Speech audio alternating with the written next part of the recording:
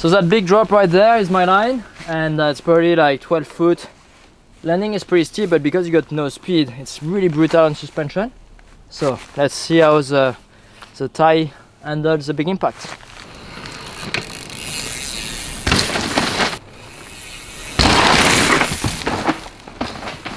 Hey guys, welcome back to my YouTube channel. This is my Propain Tyee trail bike custom build and this is the Pro Bike Check.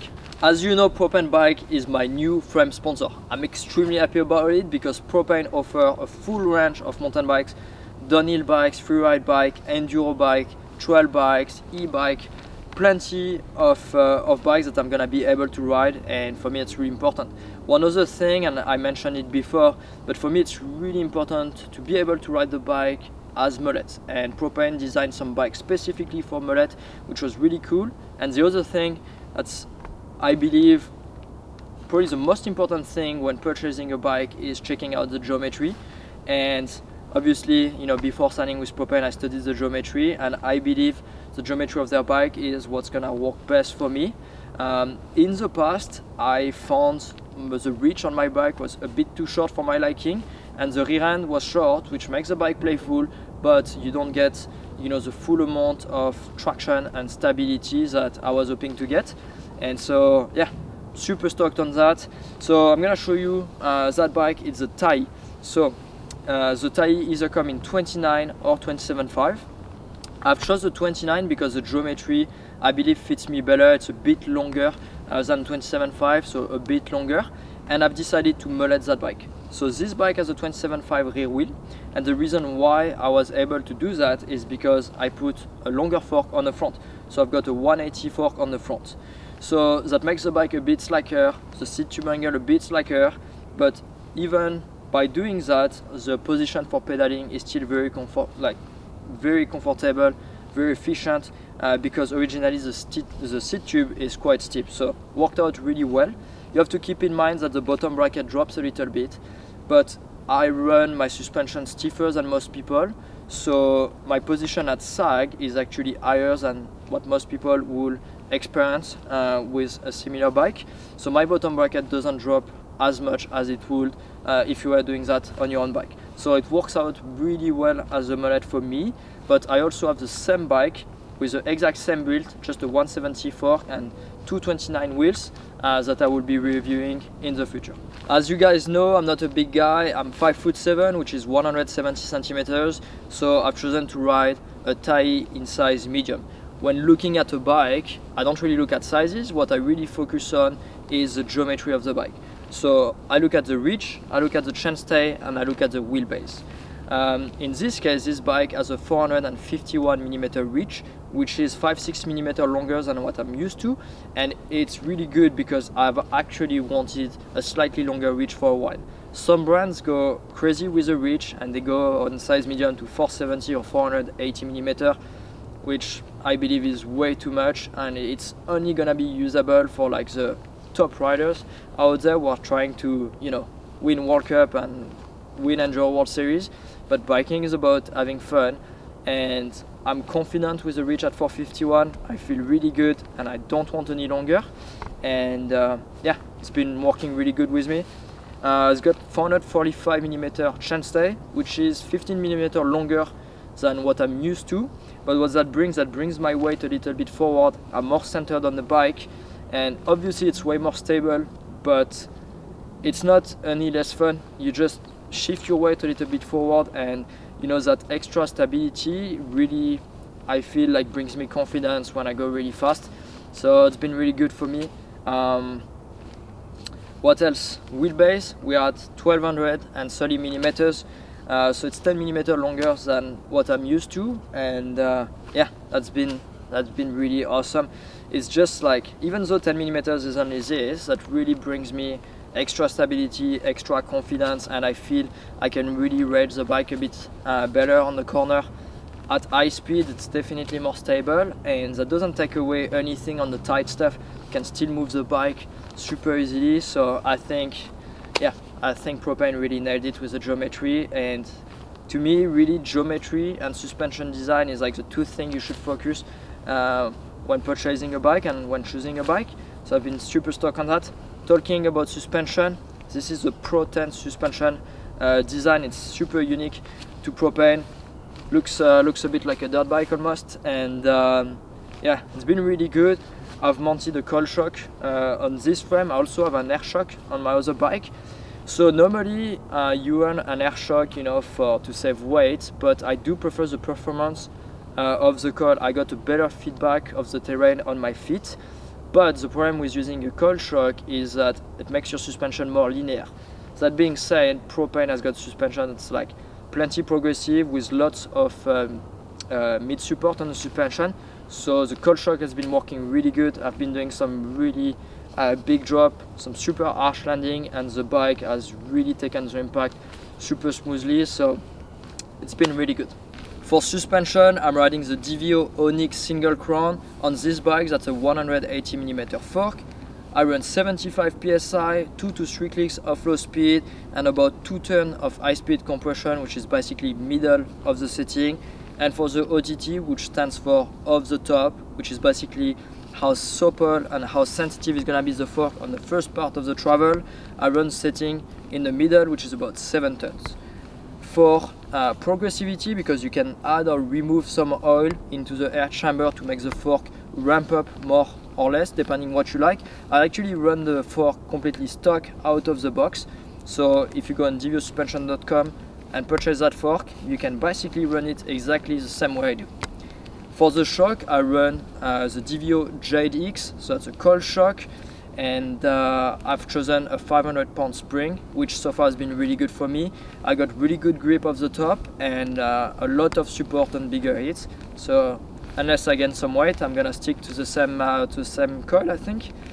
And if you wish to purchase any of those DVO suspension product make sure you head to www.dvosuspension.com and use the code REMY15 and you can get 15% off. For wheels, same as the last four years, I'm riding the E13 LG1 R Enduro. Those are carbon wheels, they're extremely strong. I really like the performance, they're super responsive. And also the reliability is absolutely insane. I never have to check my spoke tension. I don't even check it anymore because you know the tension of the spoke are always perfect and I mean I've cracked a couple of, uh, of rims last year but that's because I run extremely low pressure. I don't pay for my wheels and I'm also trying to push the limit. Um, but with regular tire pressure I don't even know if I could actually uh, crack a rim. So yeah it's been awesome. As you guys know for tires you've seen it on the side it says grappler. So yes that's a prototype tire. You'll hear more about it soon um, all I can say is that I'm really enjoying it works out really great on slab but also digs pretty good on the dirt I can show you the tread pattern uh, but that's a downhill casing on the back, Enduro casing on the front with MoPo compound. It's been super fun helping E13 to develop that product. And uh, what else we got? Cassette, that's the E13 Helix R. Uh, so that's a 12 speed cassette, 9 to 50 teeth. And I got uh, a TRS chain guide uh, with a carbon plate. And uh, yeah if you wish to purchase any E13 product go ahead check out the link in the description and use the code REMY15 for brakes same as the last three years I'm trusting the Hayes Dominion A4 if you followed me for you know like three four years you will have noticed that my braking control have actually stepped up when I went with Hayes brakes. Uh, I run the C-turn pads and you know wet dry condition anything I'm absolutely blown away by how consistent, how powerful, and also the modulation of that brake. Absolutely love it. I run a 203mm disc front and back, and uh, that's it. For handlebars, stem, and seat post, I'm trusting One Up Components. The guys are just down the street from us, Squamish local company. And uh, yeah, the product have been awesome. I'm sure you have plenty of it already, but I run their bar with a 35 millimeter rise and because I like to be higher. Uh, I find like, you know, the higher I am, the more confident I am, really helps me when it's steep and gnarly. Uh, and I run the, the stem as a 35 millimeters. They do have a 50 millimeter option, but the 35 brings my weight a little bit more uh, toward the center of the bike, and I find it gives me a better position. Uh, the bars are cut at 750 millimeters, which is good for me because I don't have a super wide shoulder. Give me like really good control, still plenty of stability. And the seat post is a 180 millimeter seat post, but I actually put the shim stack in it to reduce the travel to 170 millimeter. I'm a smaller guy, I don't need 180 because I want to keep the seat in my knees. I don't want it below my knees because believe it or not, but when you ride the bike on gnarly condition and when you jump, you actually use the seat to move the bike around. And uh, yeah, it's been awesome. I also run the EDC cap and uh, you can find those products on Jenson USA. Check out the link in the description and that support my channel. For seat and grips, I'm using the Ergon product. This is the SM Enduro Pro TI. Uh, so it's been specifically designed for Enduro. The rear of the seat is actually shorter. So if you run a longer travel trail bike with a 29 rear wheel, you are going to be able to avoid uh, tire buzz and you don't want tire buzz. So tire buzz is when the tire hits the seat. You don't want that because that can lock your rear wheel on a big uh, landing. It can be really dangerous. So Ergon has designed that seat specifically for that. And for grips, I run the G1 Enduro um, size regular. They also have a slim size, uh, but the regular have a little bit more padding, they're a little bit thicker, and yeah, work out really well for me. Gloves or no gloves, I love those grips. For transmission, I'm riding the Rotor product. You got the Kapic cranks on the front, 30 teeth uh, oval chainring. So the advantage of the oval chainring is that when you pedal uphill, your power is more consistent and that makes going over slippery roots uh, more efficient. You can get a better traction. So really like that. It's extremely reliable. Chainring uh, literally does not wear out. So you buy one and you keep it for quite a while. And for the chain, I'm riding the KMC SL 12 speed chain. Um, been awesome. I've actually never broken a KMC chain before, which is pretty cool. Um, transmission, of course, rest of the transmission, the rotor 1x13. You can set it up either as 13 speed or 12 speed. Mine obviously is a 12 speed because I got a 12 speed cassette. And uh, yeah, it's beautiful product if you look at it. It's, um, yeah, they made a really, really great job with the, with the design and it's pretty cool to have only one uh, shifter. So it's the same shifter to go up and down the gear and uh, yeah it's been really really cool testing that product with those guys. So in case you wonder the black collars around the chain is simply a dampening system for your chain. So what happens that your chain is in between the collar and can only smash against the collar which are made of rubber. So that's gonna basically cancel any chain you may have. And if you want to check it out go on stfubike.com and use the code REMY15 will give you a discount.